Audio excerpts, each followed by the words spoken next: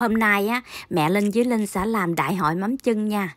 Trong cái chén này á, làm mắm cá mặn chân nè. Còn trong cái tô á, là thịt bao mắm cá lóc chân. Còn bên đây á, là mắm ruốc chân thịt. Dạ, Linh xin chào cả nhà. Chào mừng cả nhà đã trở lại kênh tờ LT Kitchen Cuộc Sống ở Mỹ. Linh xin chúc cả nhà luôn luôn vui khỏe. Sáng nay Linh xuống và Linh thấy mẹ đang làm món cá lóc chân thịt mà thịt này là không phải là chân thịt heo nha. Thịt này là chân à, thịt gà xay.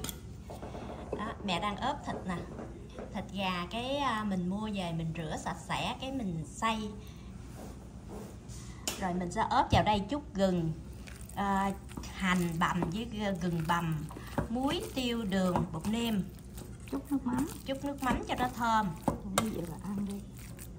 Đó, giờ mẹ đang trộn đều lên nè còn đây là cái này là mắm à, mắm cá lóc. Người ta đã phi lê sẵn rồi. Hôm à, cái uh, cái cô à, bà con về Việt Nam qua cho phải không ạ? Ừ. Cô thoại qua cho. Cô thoại qua cho là mắm cá lóc. Phi lê hết người ta. Cái này người ta lấy xương ra hết luôn rồi phải không mẹ lấy xương hết đó cái này là chỉ có phần nạc không đó. Cái này là mình chưng nguyên miếng nha thịt uh, cá lóc nha. Không có chân cái chân không có chân nguyên miếng mà cái thịt nó bao cá lóc. Mẹ này mẹ mà thịt mẹ bao cá lóc chứ không phải cá lóc bao thịt hả? Không. Mẹ lên làm nhiều kiểu lắm. Bữa nay là thịt bao cá lóc. Mỗi lần á thì mắm nó bao thịt. Bữa nay thịt bao cá lóc hèn chi thấy thịt nhiều. Ăn mục đích là ăn thịt nhiều cho nó thơm thơm mắm chút vậy thôi. Bữa nay là thịt bao cá lóc. Mắm cá lóc chân mọi hôm á thì à, cá lóc bao thịt. Thịt mình để trong cái tủ mát cái à, ra cái à, mình ôm mình ướp. Để nó dẻo cái nẹo coi nè nó dẻo thịt. Cạo lại kìa. Để cho à, cho dầu hành vô cho cái thịt mình nó mềm nó béo hơn dầu tỏi chứ mẹ hả? Dầu tỏi sau khi mẹ Linh cho dầu hành vào rồi đó cái mẹ Linh trộn lên cho nó đều mình cho dầu hành vào trong thịt á thì cái thịt gà của mình á nó không có bị khô khi mình chưng ra đó thịt nó ngon hơn. Sau khi á, thịt trộn xong rồi đó mẹ Linh sẽ cắt cái miếng à, mắm phi lê này ra nho nhỏ nè. Một cách là ăn uh... ăn thịt cho nó có mùi mắm thôi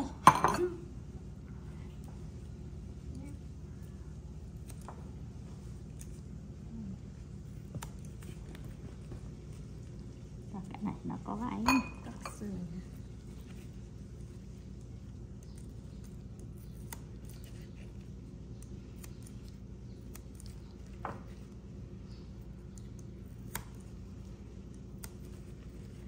này là mắm phi lê cá lóc. À, sau khi mẹ sắc mắm ra miếng vuông vuông nhỏ nhỏ vừa ăn xong rồi giờ mình sẽ lấy thịt mình bao quanh cái cục mắm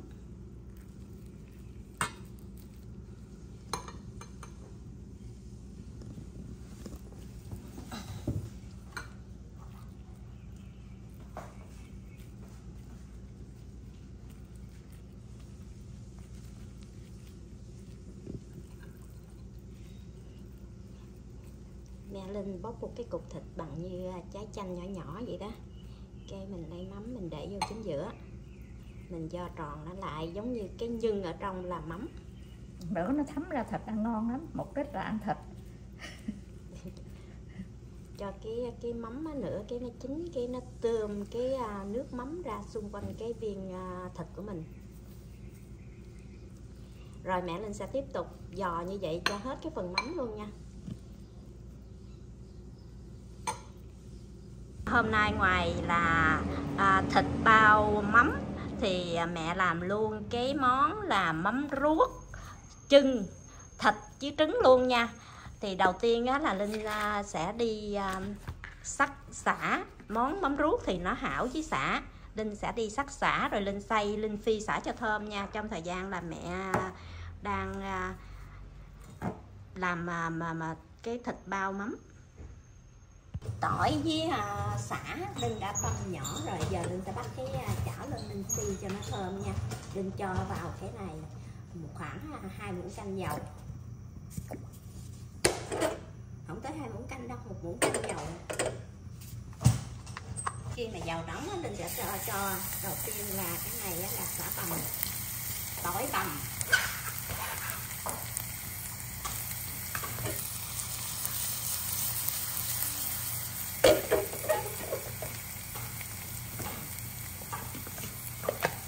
sau khi cho tỏi băm vào rồi đó tỏi nó thơm rồi đó linh cho hết xả vào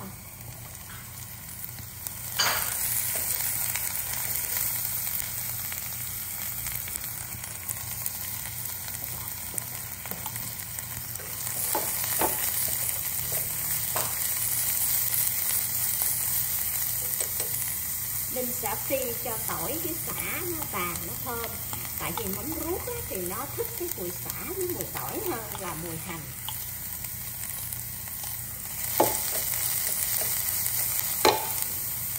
Linh vừa phi cái à, tỏi với à, xả thơm rồi nè. Bên đây á, là có nửa ký thịt gà xay. Phao Phao hả? 450 gram ở bên đây là tính uh, phao không mà không có tính ký. Là 450 gram thịt gà xay. Mẹ ốp vào đó một chút tiêu. Giờ cái mình uh, trộn cho đều. Chút bột nêm một muỗng cà phê bột niêm. Không có hiệu nào? Tại vì nó ruốc nó mặn thành ra mình cho một muỗng canh đường. Với uh, củ hành. một muỗng canh củ hành sau khi cho tiêu bột niêm củ hành đường vào rồi mình sẽ trộn đều cho cái hỗn hợp này nó hòa quyện với nhau nha. Rồi trộn đều nó lên. Thì cho xả vô đi. Đó xả với à, tỏi phi cho vô hết luôn. Cho nó thơm chút dép xuống chút lấy cái trứng đặt trong đây là đặt trứng rồi đó đi.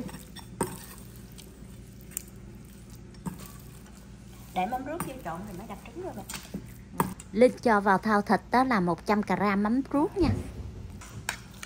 Sau khi cho mắm ruốc vào rồi đó Linh sẽ trộn đều lên cái hỗn hợp này. Cả nhà nếu mà muốn ăn mắm ruốc nhiều thì cho nhiều nha. Mình phải tùy vào cái mắm ruốc nó mặn ít hay mặn nhiều nha cả nhà trước khi cho vào đây nhớ nêm nếm mắm ruốc thử coi mắm ruốc mình mặn nhiều hay mặn ít nha. Nếu mà mặn nhiều á thì mình giật mắm ruốc lại nếu mà mặn ít á, thì mình tăng cái lượng mắm ruốc lên. Cái này thì linh ờ, khỏi cho dầu là tại vì à, linh phi nó đã có dầu ở trong này rồi. Linh phi xả với tỏi á. Mình trộn như vậy nè. Cái à, thịt mình nó mới đều với mắm ruốc thì mình sẽ đẩy trứng vào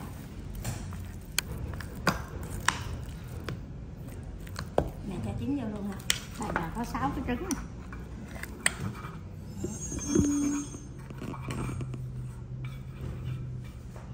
rồi cho sáu cái trứng vào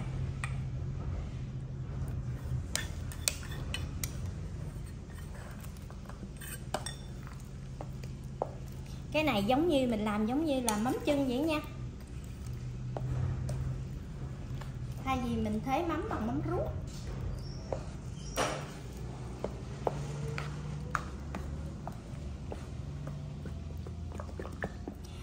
cả nhà, nếu mà muốn chân ờ, với ờ, thịt heo cũng được, nhưng mà nhà linh á thì thích thịt gà.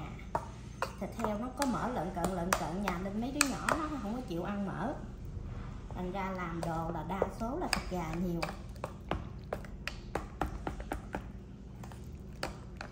Rồi, sau khi linh cho trứng vào đó, bây giờ linh sẽ khuấy đều cho cái hỗn hợp này nó hòa quyện với nhau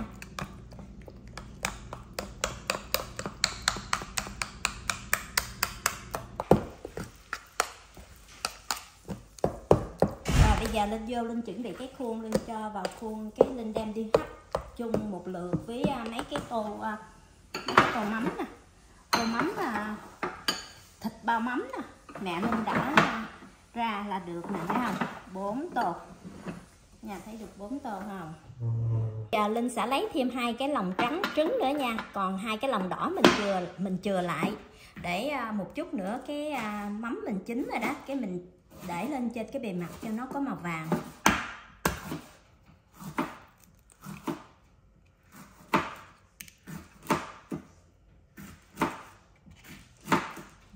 chừa lại hai cái lòng đỏ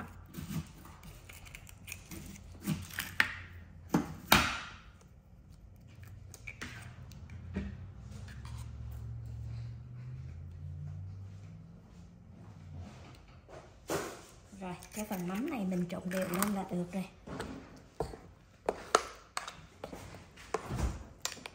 Mình à, ra cái lò xào mình hấp đây mẹ.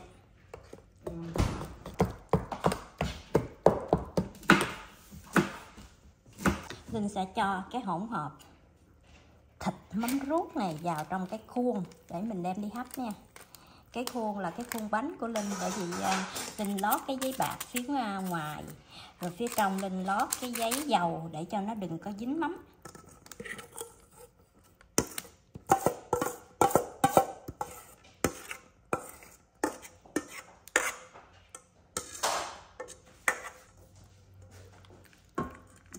Rồi, giờ linh dàn đều ra.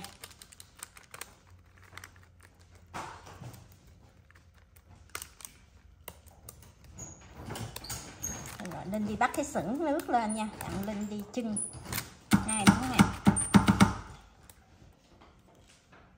rồi linh à, sau khi linh đã chuẩn bị xong rồi đó thì linh bắt cái sửng nước lên. Linh cho vào đây linh à, chưng nha. Mình à, hấp khoảng là 40 phút là ở dưới là tại vì hồi nãy linh có cái cái cái, cái khuôn lớn á là linh để ở tầng dưới rồi xong rồi à, cái à, cái tầng giữa này đó là mấy cái chén của mẹ nè. Với tầng trên. Đó, linh à, sẽ hấp trong vòng 40 phút. Khoảng 30 phút khoảng 35 phút thì mình sẽ mở nắp ra cái mình cho hành gừng này kia lên trên mặt. Rồi mình hấp thêm 5 phút nữa. Nãy giờ là hấp được 35 phút rồi, giờ mình cho gừng vô cái này là hồi nãy mẹ Linh làm thêm mấy cái chén à, cá mặn chưng ba chén. Còn đây là à, thịt bào mắm. Đó coi nước nó ra nè. Mồ hôi nó nhiễu xuống một chút với à, thịt á, với mắm nó ra nước. Nhưng mà mình để nguội lại cái nó rút lại vô trong thịt bớt. Mẹ Linh đang cho hành ớt gừng lên trên bề mặt của mắm chưng để nhìn cho nó bắt mắt cái này con mẹ phải lấy xuống, cái mẹ để phía kia mới được. Để con sau khi mẹ cho Linh cho hành gừng ớt, rồi giờ mẹ, cái à, trồng đỏ trứng hồi nãy mình chừa lại đó, cái mình chan lên. Đó, rồi cái mình sẽ làm tiếp tục mấy cái à, cái à, ở dưới luôn nha. Đó, nhìn hấp dẫn không? Đó, này là ba tô ở tầng dưới nè. Còn ở cái tầng dưới này là mắm ruốc chân thịt.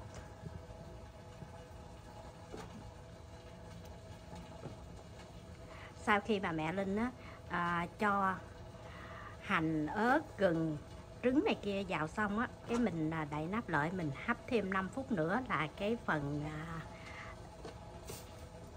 thịt bọc với um, mắm. Chính. nó dày đó nó dày rồi mình phải dạ còn cái món mà ở dưới đây á, là nó chân chân trứng á.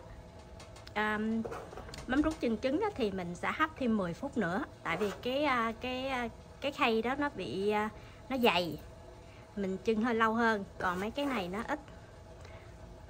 Nó mỏng nó mau chín thì mình sẽ chưng mau này mình chưng 40 phút còn cái mà mắm ruốc chân thịt là mình chưng 50 phút nha. Đó. Rồi, trứng, trứng trứng mẹ quên chăn trứng. Chút nữa thôi chan phải không? Ừ. đó đây là mắm ruốc chân thịt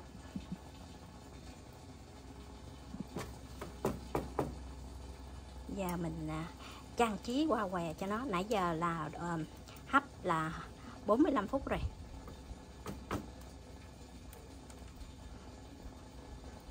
Phần phất cái mùi mắm ruốc hả mẹ ha?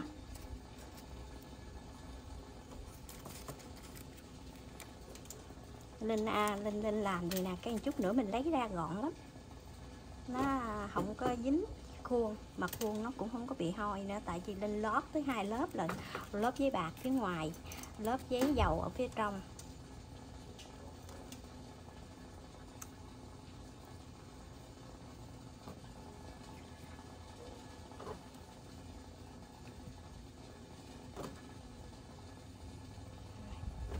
Trứng vô luôn. Cái chồng hồi nãy, cái chồng à, cái tròn đỏ trứng á, mình chừa lại đó. Giờ mình sẽ chan vô.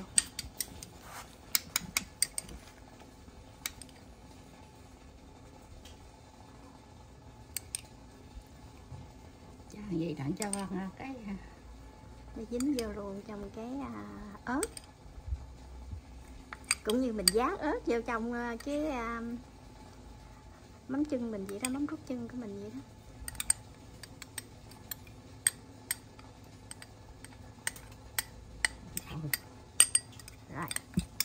rồi tinh sẽ tắt lên. Linh dặn lửa lớn linh tắt liền. Rồi. Đó vừa lấy xong nè. Mắm chân ra. Cái này là cái tô mắm hồi nãy của mẹ linh làm là thịt bao với à, mắm cá lóc.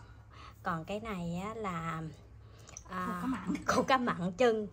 Cả nhà nhìn thấy hấp dẫn không? Linh với mẹ vừa chia sẻ xong với cả nhà món à, thịt bao quanh mắm cá lóc chân à, với món à, mắm ruốc chân thịt Giờ Linh xin dừng video tại đây. Linh cảm ơn cả nhà đã theo dõi video của Linh.